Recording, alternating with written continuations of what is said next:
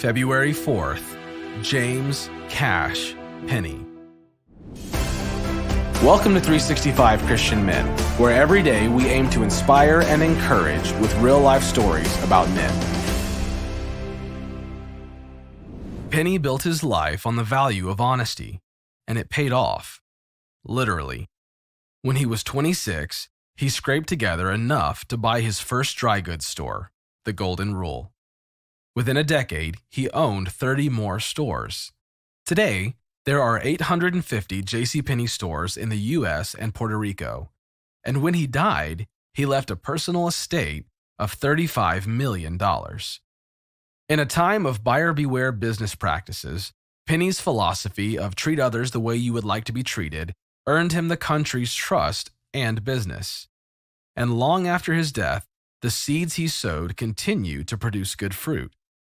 One of his many philanthropic projects was the Penney Retirement Community in Florida, a nonprofit caring Christian community for retired ministers and missionaries, which still thrives today.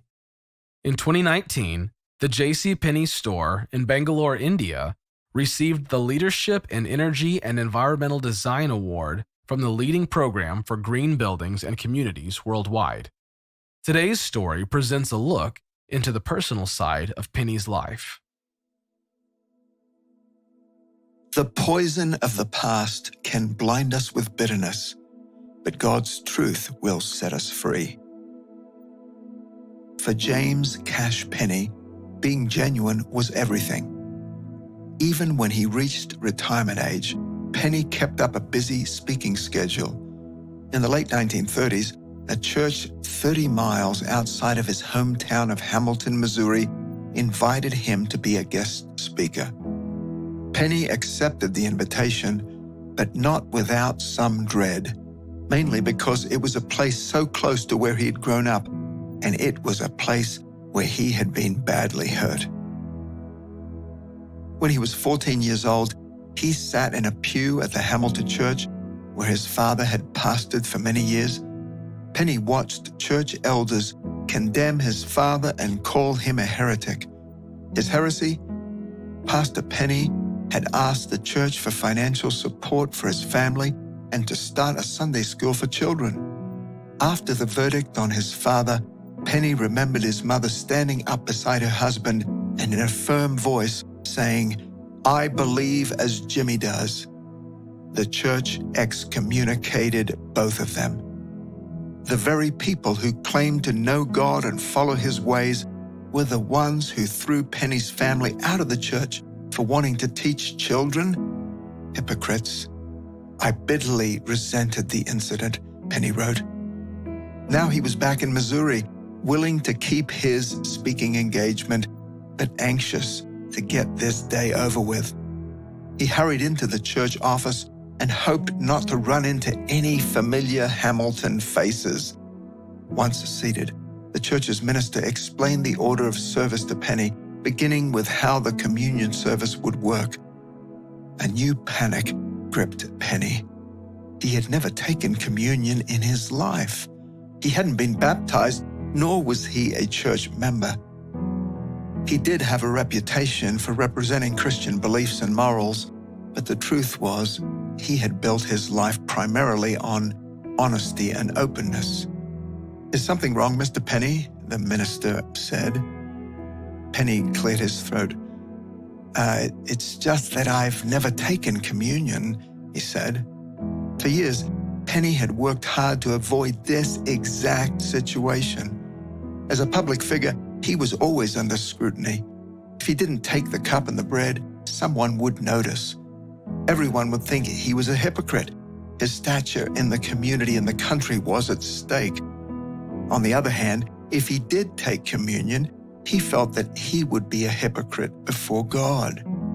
He led a moral and generous life, but he felt he wasn't truly worthy of publicly declaring himself as a member of God's family. Practicing the golden rule in my business benefited everyone, he wrote.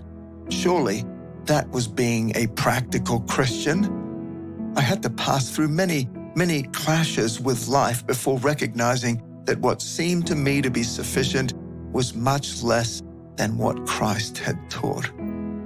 Penney looked at the minister and said, What should I do? I feel unworthy. Well, are you a Christian? the minister asked.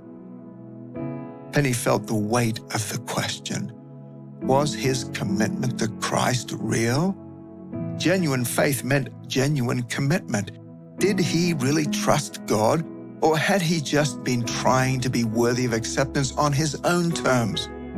Penney's thoughts jumped back to that judgment scene in the Hamilton church where his father had pastored. He heard his mother's bold statement, I too believe. Yes, he said, I am a Christian. Bitter thoughts of the Hamilton hypocrites lifted, and his focus turned to Christ and all he had done on Penney's behalf. He said, as though a voice were speaking into my mind, there came the words gently spoken Don't be afraid. Penney later would write, It is not enough for men to be upright and moral men. I must admit, it was only after I assumed the responsibility of church membership, thus rendering unto God the things that are God's, that I realized just how merely attending church regularly is not enough. For all men, there must be yet one more thing giving oneself over to God's purpose. Penney had determined to show God that he was not a hypocrite, but by relying on himself and his behavior, he had come up short. In his fear, Penney had missed out on the peace and strength that come from truly following God. Now he realized that being genuine wasn't about being perfect. It meant giving himself entirely over to God. That evening, Penney phoned his wife. He told her that he had decided to be baptized and join the church family. He was 67 years old when he was finally baptized. For J.C. Penney, a genuine commitment to God was everything. Not everyone who says to me, Lord, Lord, will enter the kingdom of heaven. Only those who do the will of my Father in heaven will enter. Matthew 7:21. And Philippians 3:9 says, I no longer count on my own righteousness through obeying the law. Rather, I become righteous through faith in Christ. For God's way of making us right with Himself depends on faith. Are you afraid you might not be worthy enough for God? Give Him your fear and step out in simple obedience. The poison of the past can blind us with bitterness, but God's truth will set us free.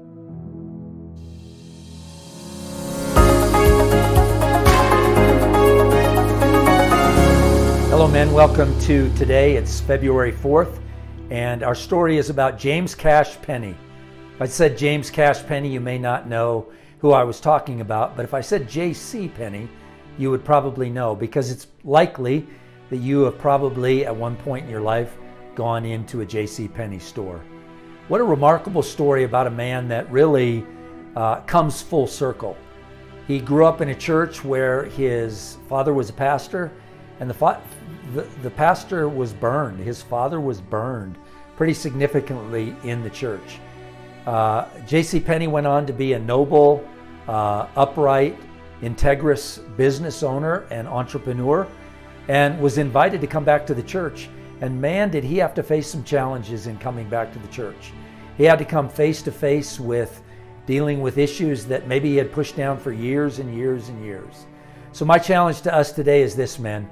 Have you pushed some things down that have come full circle and now it's time to come face to face with them? How will you respond? You may have every emotion under the sun hit you, everything from fear to doubt to anger to hurt. All of those things might be real, but but the question is, will you step into it? Will you allow God to redeem it? Will you allow God to restore you? And will you allow God to show you what he has for you in this experience. God bless you. Enjoy the challenge, enjoy the story, and enjoy 2023.